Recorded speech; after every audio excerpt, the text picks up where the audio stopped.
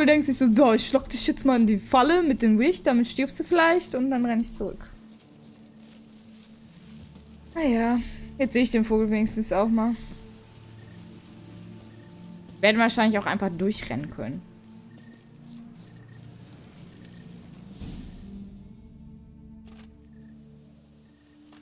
Wir sind auch nur wieder leicht vergiftet.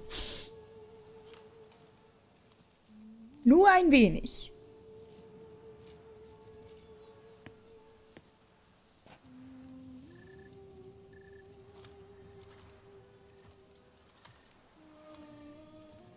Ist sie ein V? Hexer. Vivienne, Oh mein Gott. du Sie ist ein dachtest, ich Vogel. verlaufe mich. Das stimmt. Ich hielt dich nicht für anders als die anderen Ritter. Gut im Turnier, erbärmlich im Angesicht echter Gefahr. Ich lag falsch. Wie ich höre, kommst du öfters her. Hier hat alles angefangen. Und da ich dir nicht entkommen kann, mich vor dir nicht retten kann, will ich, dass es hier geschieht. An diesem Ort. Ohne Zeugen. Das was geschieht? Na, du bist doch ein Hexer. Du wurdest gedungen, um mich zu töten, oder nicht? Also mach es jetzt und bitte schnell. Ich wehre mich nicht. Hexer jagen nur Monster und auch nicht jedes. Du bist kein Monster. Was soll ich denn sonst sein?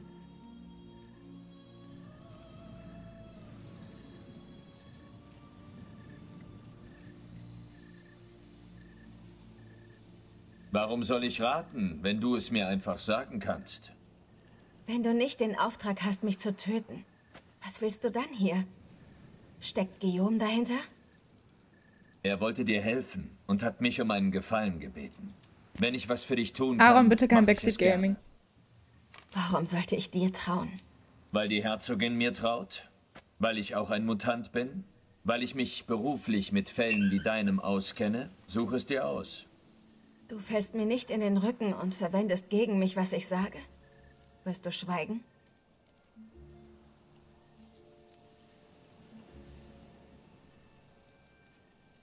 Du hast nichts zu befürchten. Ich bin hier, um dir zu helfen.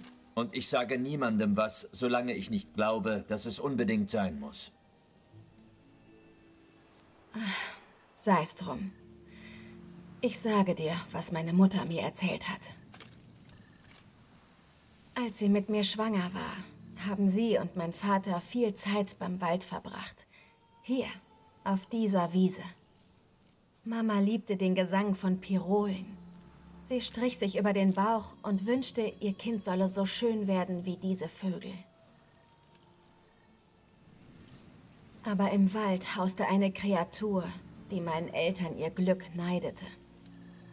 Eines Tages erschien sie vor meinen Eltern, um ihnen zu sagen, dass der ganze Wald ihr gehöre und sie es gewagt hatten, etwas zu genießen, was sie nicht besaßen. Die Kreatur verlangte eine Entschädigung. Meine Eltern hatten aber nichts. Da beanspruchte sie das ungeborene Kind. Haben deine Eltern diese Kreatur beschrieben? Sie sprachen von einer Nymphe, Ausgeburt des Waldes und ohne Eltern. Aber ich war zu jung und zu mitgenommen von diesem Fluch, um genauer nachzufragen. Was ist dann geschehen? Zuerst gar nichts. Ich kam als ganz normales Kind auf die Welt und meine Eltern vergaßen die Ereignisse. Aber als ich 15 Lenze zählte, wurde der Fluch wirksam. Zuerst nur bei Vollmond. Aber mittlerweile ist er so stark, dass ich sogar tagsüber Magie brauche, um seine Symptome zu kaschieren und normal auszusehen. Darum dachte ich, dass mich jemand entdeckt und dich angeheuert hat, um mich zu töten. Ich hatte mit dem Leben abgeschlossen, als ich heute herkam. Vielleicht wäre es mir sogar recht gewesen, denn ich fürchte, mir steht die endgültige Verwandlung bevor. Deine Salbe enthält eine mächtige magische Zutat. Du hast nicht die Immunität von Magiern. Hohe Dosen und auch normale Dosen über längere Zeit sind gefährlich für dich. Das habe ich gemerkt. Deswegen wollte ich es ja aufgeben und meiner menschlichen Form ein für allemal Ade sagen.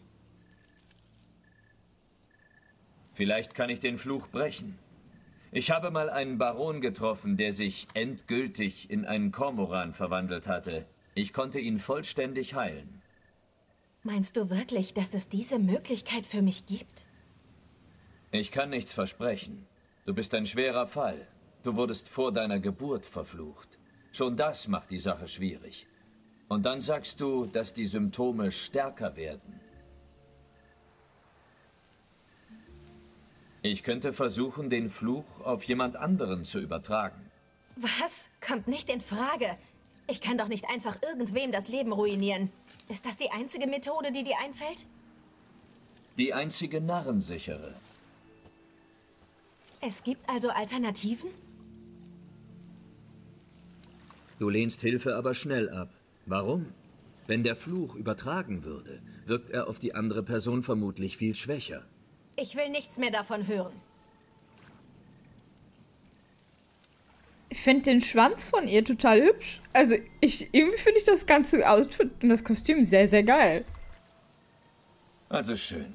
Es gibt noch eine Möglichkeit. Ein altes Ritual. Wir brauchen das Ei eines Pirols. Damit müsste der Fluch sich abschütteln lassen. Aber ich muss dich warnen. Es könnte ernste Folgen geben. Was denn für Folgen? Der Fluch wurde ausgesprochen, bevor du auf die Welt kamst. Das Ritual sieht vor, ihn auf ein ungeschlüpftes Küken zu übertragen. Dann wärst du frei. Allerdings besteht die Gefahr, dass dir nur die Lebensspanne eines Pirols bliebe. Sieben Jahre. Hui. Ich verstehe. Ach, jede Rose hat ihre Dornen. Sowas wie ein glückliches Ende gibt es nicht. Jedenfalls nicht für mich. Ich bin auf den Tod vorbereitet. Und nun bietest du mir sieben Lebensjahre in Freiheit an? Das ist kein Dilemma. Ich bin von ganzem Herzen einverstanden. Das kann ich nachvollziehen. Du musst dich noch nicht entscheiden. Überdenk es. Das mache ich. Sicher vermisst man mich beim Turnier bereits. Wollen wir zurückgehen? Also, ich wäre ein Gern. Vogel. Aber willst du nicht... Ach, richtig. Ich kann das schlecht in Federn aufkreuzen. Entschuldige mich einen Moment.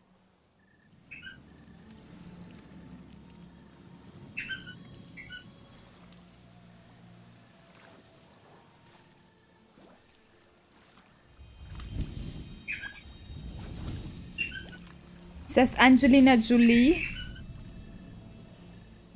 Also, wenn ich fliegen kann, wäre ich auch ein Vogel. Ich aber ehrlich. Oh. Gerald, du drehst dich um? Na, okay. Kannst du dich beliebig verwandeln? Nein, aber das Wasser des Teichs hilft. Nur für kurze Zeit, aber dafür stets zuverlässig. Interessant.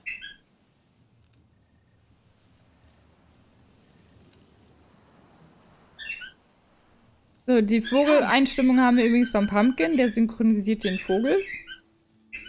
War noch nicht so gut, aber wir üben dr- dran.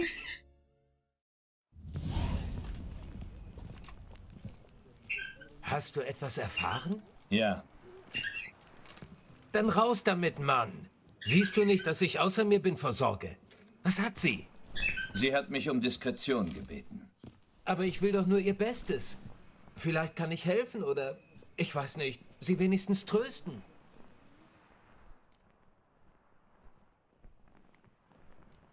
Vivienne hat mir ihre Lage geschildert. Aber es war vertraulich. Ich habe versprochen, dass ich niemanden einweihe. Aber ich bin doch nicht irgendwer. Ich würde alles für sie tun. Ich habe dich gebeten, ihr zu helfen. Du kannst mich doch jetzt nicht ausschließen. Tut mir leid. Bestimmt versteht Vivienne bald, wie viel sie dir zu verdanken hat. Aber bis dahin musst du einsehen, dass sich nicht die ganze Welt um dich dreht. Du wagst es, mir Lektionen erteilen zu wollen? Diese Art von Hilfe habe ich nicht gewollt. Und für dich habe ich meinen Turnierplatz geopfert. Das bereue ich jetzt. Willst du überhaupt bis zum Ende teilnehmen? Oder ist dir das jetzt egal, nachdem du Vivienne auf dich verpflichtet hast? Mein Gott, was ist er denn jetzt für What the? Ich bin beim letzten Scharmützel dabei. Außerdem wird Vivienne bis zum Ende des Turniers beschäftigt sein. Wie wahr? Dann musst du die Ritter deiner Fraktion kennenlernen. Du findest sie auf dem Übungsgelände beim Eingang der Arena. Jetzt ist Alles er wieder klar, voll in, entspannt, der Mann. Gott, Verliebte sind fürchterlich. Früher Morgen. Ich kenne jetzt die Aufstellung der beiden Fraktionen. Ich werde die unsere anführen. Das bedeutet, dass du für die Dauer des Kampfs meinem Befehl unterstehst. Ist das klar? Palmerin de l'Enfant führt die gegnerische Mannschaft an. Mit diesem Gefecht gedenken wir der Schlacht bei Fuchstal 1218, als eine Hanse südländischer Gesetzloser, die unter Haller dem braunen Toussaint überfiel, von tapferen Rittern zurückgeschlagen wurde, die uns allen damit ein Das ist auch noch ein. Rollenspiel. Seitdem werden die Grenzen des Herzogtums von fahrenden Rittern bewacht. Palmerin hat den kürzeren gezogen, also übernimmt seine Fraktion die Rolle von Hallas barbarischen Horden. Gibt es Fragen? Nein. Du wirst uns wohl wenig nützen. Als Hexer hast du ja keine Ahnung vom Ritterkampf. Versuch wenigstens, uns aus dem Weg zu bleiben. Okay. Es ist Zeit, meine Herren. Nehmt eure Waffen und begebt euch in die Arena.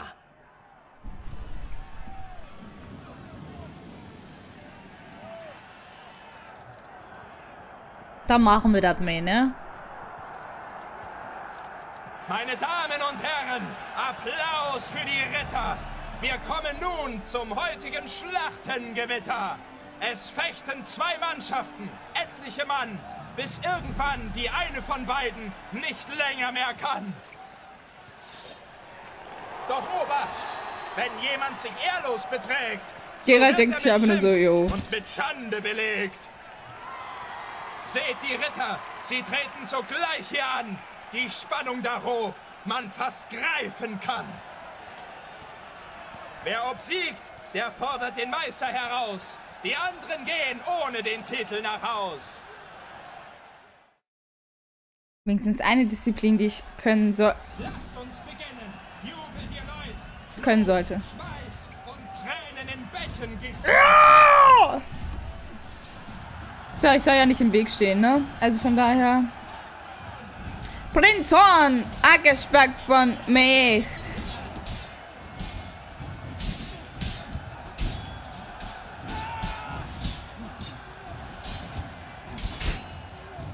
Was denn? Verlieren wir die Nerven?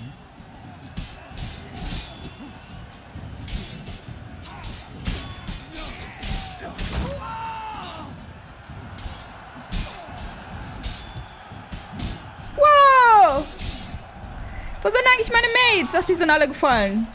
Ja, ja, klar. Ah, fühle ich kann. Oh, ich kann Drecke nehmen. Oh, ich kann cheaten. Bringen wir es zu Ende. Alter, der mit der hellen Bade macht mich wahnsinnig.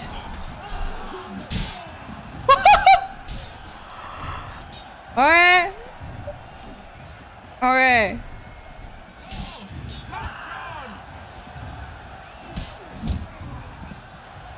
Uh.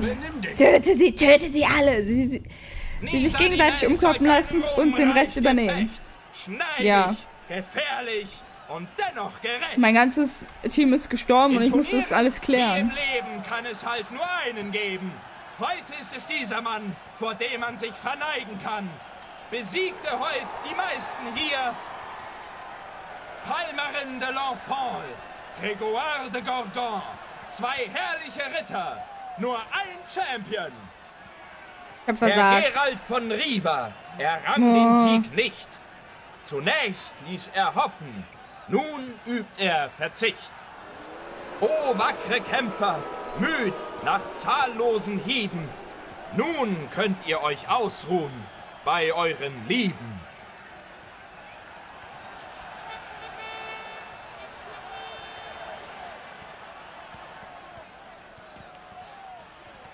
Also muss ich nicht gegen den Berg antreten. Ja, immerhin.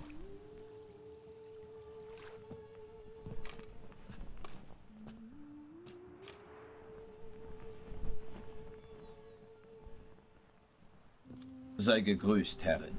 Hast du dich entschieden? Habe ich. Ich stehe zu meinem Wort. Ich will niemanden gefährden und wähle daher die Methode mit dem Ei. Wenn es das Ei eines Pirols sein muss, weiß ich, wo wir eins finden. In der Nähe meiner Wiese ist ein Nest. Kannst du erläutern, wie das Ritual genau funktioniert? Nope. Schon, aber ich glaube, dein Zelt hat Ohren. Komm raus, Guillaume. Ich kann dich atmen hören. Und ich weiß genau, dass du es bist. Was treibst du hierher? Dies ist eine private Audienz. Gerald, was hat das zu bedeuten? Heckst du irgendwas aus, was ich nicht weiß?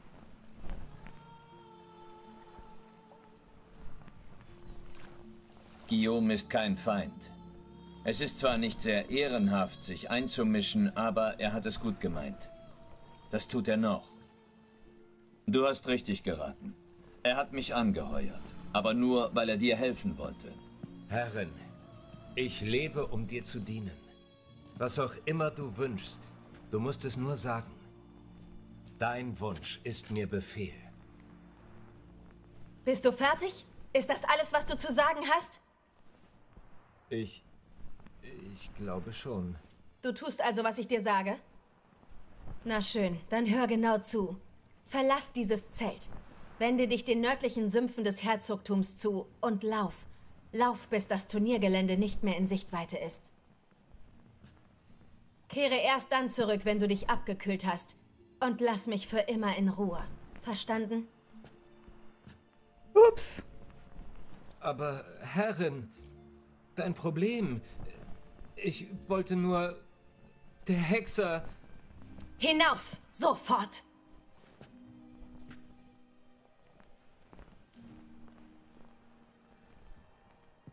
Der Korb aus der Hölle. Das war wirklich Du der Korb aus der Hölle. versichert, dass ich dir trauen kann. Ich habe dein Geheimnis bewahrt. Ich habe ihm nichts gesagt, was er noch nicht wusste. Er hat dich also angeheuert und du musstest ihm Bericht erstatten. Aber das ist nicht seine Angelegenheit, Gerald. Das ist mein Leben. Bist du sicher, dass es richtig war, seine Hilfe so hastig vom Tisch zu wischen? Ohne ihn ist das Ritual mit dem Spiegelbild nicht machbar. Dazu braucht es jemanden, der den Fluch freiwillig auf sich nimmt. Und du dachtest, damit wäre ich einverstanden? Nein, Gerald. Auf der Wiese hast du mir von einem Ritual erzählt, das ohne die Hilfe von Lüstlingen auskommt. Und das ist die Methode, für die ich mich entschieden habe. Wir brauchen ein Ei. Am besten das eines Pirols. Das Ritual selbst ist nicht kompliziert, aber ich sagte ja, es hat eine Nebenwirkung. Bist du immer noch entschlossen? Ja, ich habe bei der Wiese ein Nest gesehen. Aber ehe wir gehen, sag mir, was wird aus dem Küken? Wir müssen das Ei zerbrechen. Wie du schon sagtest, gibt es nicht für jeden ein gutes Ende. Und man muss Opfer bringen, wenn man Träume verwirklichen will. Na schön, gehen wir. Bleib einfach eine Vogellady, Mann. Wir haben eigentlich kein Albatros-Ei. Wir werden doch so schön alt, weil der Pirol wahrscheinlich, weil der Fluch an dem Pirol angelehnt ist. Und ja, Jonas, ich empfinde das auch als nachvollziehbar, wie sie argumentiert hat. Ich glaube, wenn mir so ein Typ nachstellen würde und sagen würde, ich würde alles für dich tun, würde ich auch nur sagen, geh einfach bitte. This is too much. This is way too much. Was habe ich verpasst? Ich, bin, ich habe nicht gewonnen, Iris, im Turnier. Aber ich werde jetzt den Fluch dieser Vogellady brechen. Ein Panther greift das Nest an! Ah, nein! Ich kümmere mich darum. Was? Oh, ich habe noch die? Axi. Oh.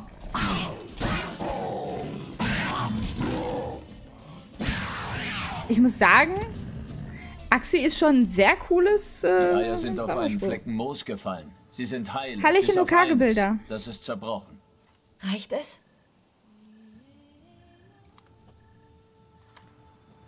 Glaub schon.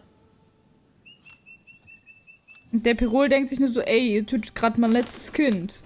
Ist nicht okay. Er sieht ein bisschen aus wie Ganymede. Und was muss ich tun?